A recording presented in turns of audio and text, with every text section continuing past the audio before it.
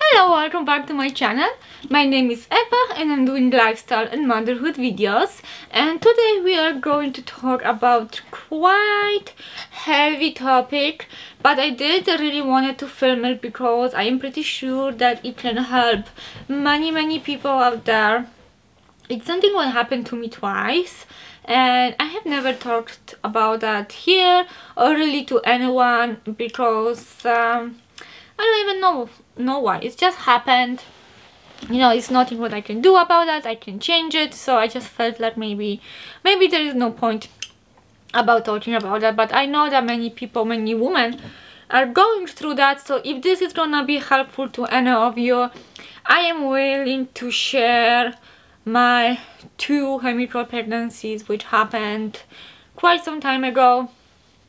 So let's jump right into story time you would call it.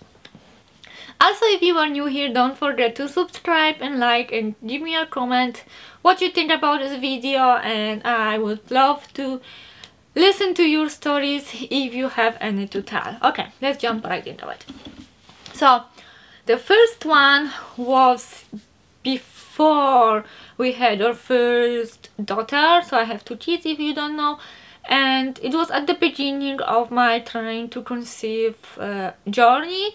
So i was really you know excited. I was really you know eager. It was actually at the very very beginning. And at that point i didn't know much about um, anything really. I didn't know much about uh, um, you know the conception in the in sense of when's the best time to to do it. I didn't know much about you know pregnancy symptoms or anything like that. I was just at the very very beginning, I believe it was like third or third, third, second or third month of trying. So very very early, so like two, no, like oh my god, almost five years ago I think. So quite quite long time ago. And uh, I don't remember any of my symptoms prior to that at all, if I felt different. I think I was kind of flu-like symptoms like I was kind of off. I think that's what it was. And uh, uh, one day I did I think I was I was two days late. I did a pregnancy test with first response brand. And I saw a very very faint line okay? It was so faint that if I made a picture you may not see that but you know women's eyes are very good. We always see everything. And it's not evap line because it showed up uh, right away. It was just very light but it showed up right away. So it wasn't an evap line. So you know you are all happy right? And i went to work and i start bleeding. I think you know like few hours after i see that test. So you know my enjoyment wasn't very long and it was the worst bleeding of my life. Oh my god i was it was okay tmi over here okay? It wasn't like a regular period. That's why i know that something something was over there. Sometimes could be not, not even be a chemical pregnancy but like actual pregnancy because i was already late. So yeah it was really really bad guys. Like oh i'm not gonna go into details about the bleeding but it was way way way more than a regular monthly period. So yeah and it lasted quite much longer too. But even the same day I went to uh, walk-in clinic and done the blood test to see if there is HCG you know level hormone and it came back negative so at that point it was nothing there. And even you know the pregnancy test was so so slight that I think um, you know by the time it was evening late evening after work I was working the entire day okay? Ble bleeding like a pig. Yeah it was like nothing there already but I know that the test was true because I do not have uh, periods like that like never ever so yeah that was at the very beginning of my journey and after that it was almost a year since we actually conceived our uh, first daughter. So then you know two pregnancies passed by and uh, the second time it was totally unexpected and uh, again I I felt so off like the entire week like you know there's like two weeks right between your ovulation and your period. So I felt super super off the second week. Not the first one but the second off. I had no energy um okay maybe a back a little bit. I always have symptoms um in my two weeks wait my how how is it called you know that two week wait uh, right before your period you know when the woman gets angry. For me it's always the same. I always have tender breast I um, I'm always tired I always no shoes and um, you know I have all the pregnancy symptoms every single month okay?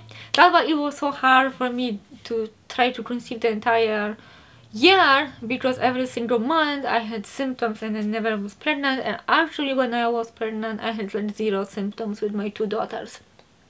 So that's why that's how I know. Anyway that time I was even more tired okay? Even even more tired. And I had that day I remember I had a horrible cramps like horrible. And I was a little bit off because I am not really crampy okay and also when I was showering and the water was falling on my breast it was like really tender like more than usually. So that was like hmm. So I did one test. Sorry I peed on it.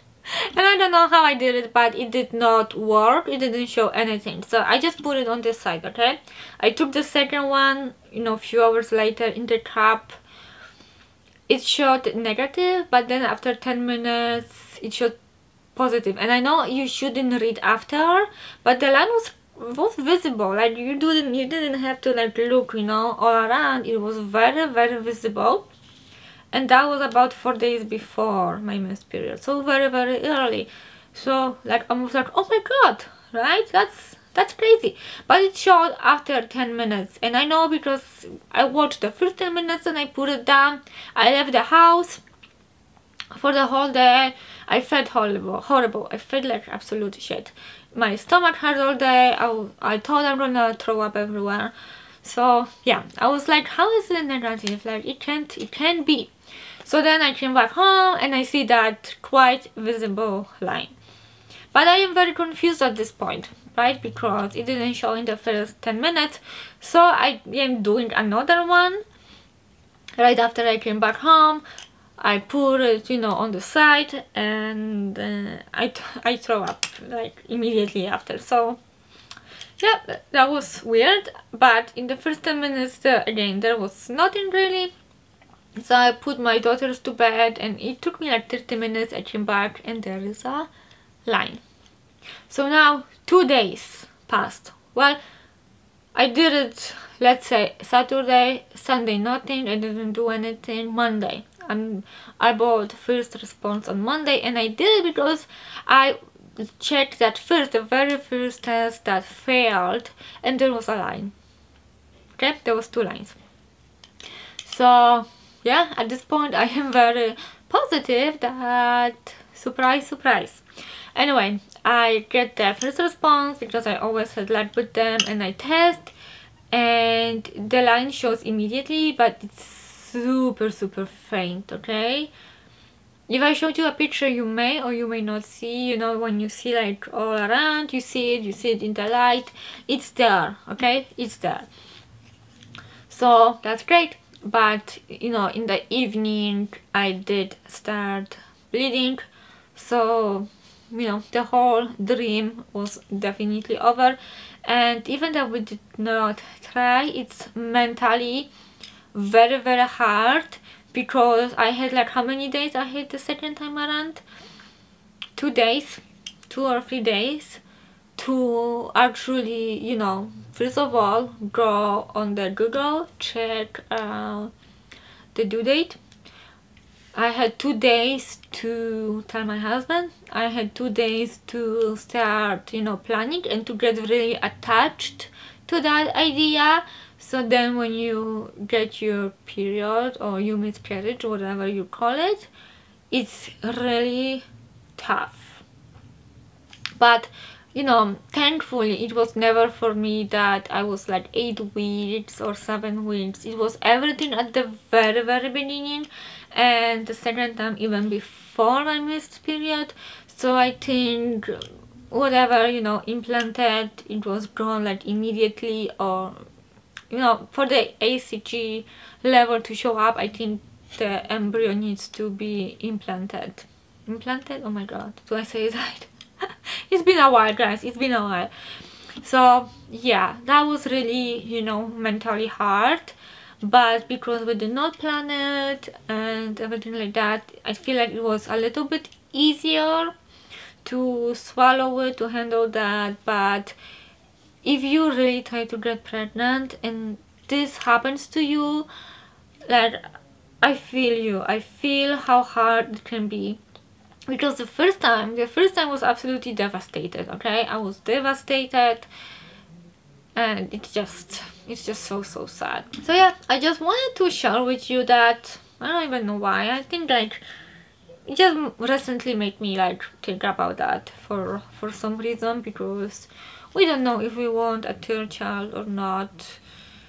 You know maybe i think if we do it will be like rather sooner than later because the age gap between my girls is getting bigger and bigger and bigger and i don't want to go back to the diapers and back to the newborn stage. Actually no. The newborn stage is fine. I don't want to back to the toddler stage okay? No more toddlers. Give me a baby from like zero to one year old and take it away for a year and a half and bring it back okay? So yeah that's i just wanted to talk about that take it out of my chest because i have never shared it with you. And i think um like i said it may be helpful to someone to just listen to the story. So this is it for today. Thank you so much for watching. If you enjoyed this video give me a thumbs up and subscribe and i hope i will see you in my next video. Bye guys